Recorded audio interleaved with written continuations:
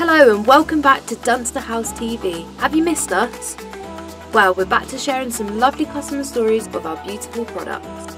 Today we are going to have a nosy at how Rebecca has set up her chunky Atlas gazebo in her gorgeous garden. After a lockdown realisation that more social outdoor space was required, Rebecca began to look for something which could be used for relaxing with friends and family whilst providing a sturdy covering from the British weather. Something that will happily ruin your plans, am I right? Rebecca and her husband made a decision to get the Atlas gazebo, which they chose not to enclose. This left them with a view from the house, through the gazebo and down to the bottom of the garden. A great decision you made there, Becca. Nice. Accessorised with Italian porcelain patio slabs and funky plant pots, Rebecca's kept a rustic look to her outdoor space to complement their house.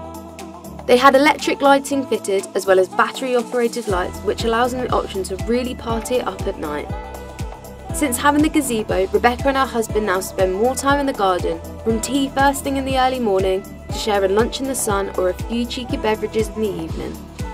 It has really helped bring their garden together and provide that social space they wanted.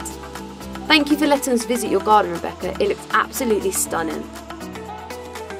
Make sure you're following us on social media and subscribe to our YouTube channel for more beautiful garden inspiration.